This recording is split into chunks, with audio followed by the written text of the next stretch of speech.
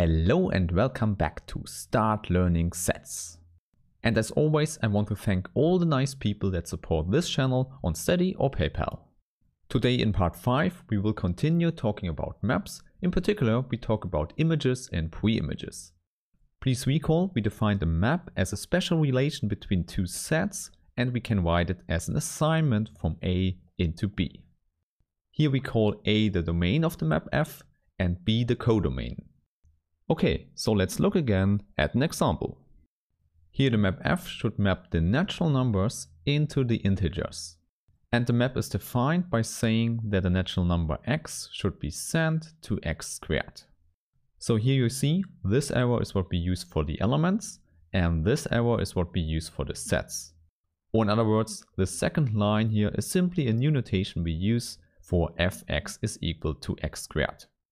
Now, as we have done it in the last video, let's look at a visualization of this particular map here. So here we have the natural numbers on the left hand side and the integers on the right hand side. And now we can draw our arrows. For example, 2 is mapped to 4. Here you see the limits of such a visualization. We can't draw all the arrows simply because we have infinitely many of them. However, it still can help us. For example, we see here immediately that we don't hit all the points in the codomain. Therefore, it makes sense to introduce a new set that consists of all the elements we actually hit. And this is what we call the range of the map. The common notation one uses for this is just given by shortening range and putting in the corresponding function f. Now we need to describe all the elements we actually hit, so we say it's the set of all the elements y in the set b, so on the right hand side, that satisfy that we find an element x on the left hand side that is sent to this element. Or to put this into a formula, we would write there exists an x in A such that f of x is equal to this y. Now you already know a lot of mathematicians like to shorten formulas, so they will just write the set of all f of x that satisfy that x is in A. You need to get used to something like this because in this notation everything is mixed up. However, maybe it's easily readable because it says you have a set consisting of elements of this form where x goes through the whole set A.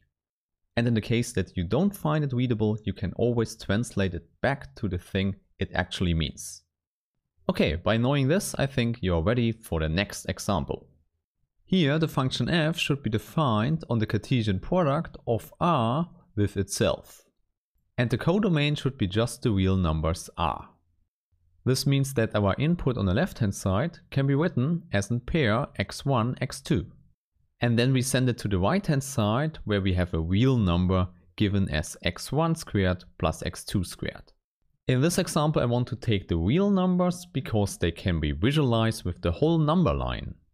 Of course we didn't define the real numbers yet, but we will do this later. Therefore, if you don't know the real numbers yet, it's not a problem. You can just revisit this example later. However, still you can take the visualization because the real numbers are just this one-dimensional number line. Hence, on the other hand, we can see r times r as this two-dimensional plane. Now, if we fix one point in this plane, we have an element in the domain, and then we map it to the right-hand side by using this formula. However, you might already see that this formula is connected to the Pythagorean theorem. So this pair here is mapped to a number that is greater than 0. It could also be 0, but only if we have chosen the origin here on the left hand side. In addition, we also know that this whole circle here is mapped to the same number here. Indeed, the radius squared gives us exactly this number. So our conclusion is different radii give us different numbers here on the right hand side, therefore the whole range would be this half line. More concretely, we would write it's the set of all real numbers y that are greater or equal than 0. Okay, I think that's good enough for this example. As I said, we will talk about the real numbers a lot later. But first we have to talk more about maps, in particular about images and pre-images. We still have the same picture in mind, a map F goes from a set A into a set B. Now we already know the range of F are all the points in B that we hit with F. However, we can formulate a more detailed question and ask what are the points that we hit with a given set of points on the left hand side. So let's call this subset in A A tilde. And the subset we hit on the right hand side is what we call the image of A tilde. The notation one uses for this subset is f of A tilde. Okay, with this picture in mind, we can formulate the correct definition. So for a subset A tilde, the image of A tilde under f is the following set. The collection of all the points y in B that satisfy that there exists an x in A tilde such that f of x is y. Now it might not surprise you that we can also here use the short formulation of this set. So all elements fx for x in A tilde. And when you see this, it makes sense that we use f of A tilde for the whole set. However, I use brackets here to remind you that we have a whole set here and not just an element. But sadly, often also parentheses are used in this notation here. Since this can lead to some confusion, I will totally avoid that and just use the brackets here. Okay, with all this, you now know what an image is. Now for the pre-image, we have to go the other way around, so we start with a subset in the set B. Therefore it looks like the same picture, but now we fix a set B tilde on the right hand side. And then we go to the left hand side and look which possible inputs are mapped into this set B tilde. And all these inputs together form a subset in A we call the pre-image of B tilde. At this point, I don't think we have any problems writing down the formal definition of this set, so let's do it. We can say it's a set of all elements x in the left hand side, so in A, that satisfy that f of x is then an element of B tilde. Simply as that, take all the elements that lie after the map f acted in our chosen set.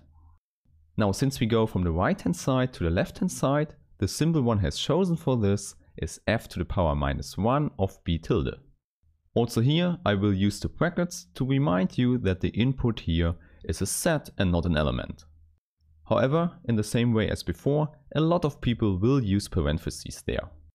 Okay, this new symbol is now called the pre-image of b tilde under f. Now before we go to an example, I should alert you to some confusion that might occur here. This power minus 1 does not imply that we have an inverse map. We will talk about this later. The power minus 1 is just a reminder that the input set lies on the right hand side. Okay, now as promised, let's finish the video with some example.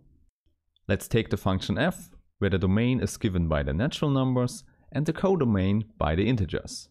Then we define the natural number x should be mapped to 0 if x is even and to x itself if x is odd.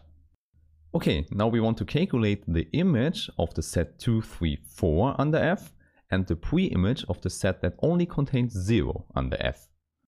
Maybe that's a good thing you can do for yourself, so pause the video and think about it. Okay, if you're ready, let's talk about the image first. With the first element 2, we will hit 0 because 2 is even. But then with 3, we will hit 3 itself, because 3 is odd. Then in the end, with the element 4, we will hit 0 again, therefore the image set is finished. Okay, very good. Let's go then to the pre-image. The question here is, which elements are sent to 0? From before, we already know this happens for 2 and 4, but by definition, we also know it happens for 6, 8 and so on. Hence this means that the pre-image here is just given by the even natural numbers. Okay, so if you have any questions, please use the comments and you can also use the PDF version that is linked in the description.